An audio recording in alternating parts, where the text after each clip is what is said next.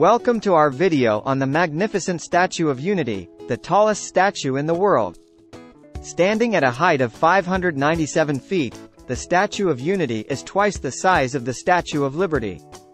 Located in the state of Gujarat, India, this iconic statue is dedicated to Vallabhbhai Patel, the first Deputy Prime Minister and the Iron Man of India. Built to honor Patel's contributions to the country, the statue attracts millions of visitors from around the world every year. The Statue of Unity showcases the unity and diversity of India, as it represents the country's unity in the face of adversity.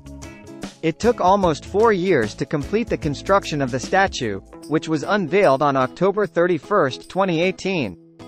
Visitors can take an elevator to admire the breathtaking view from the observation deck located at the chest of the statue.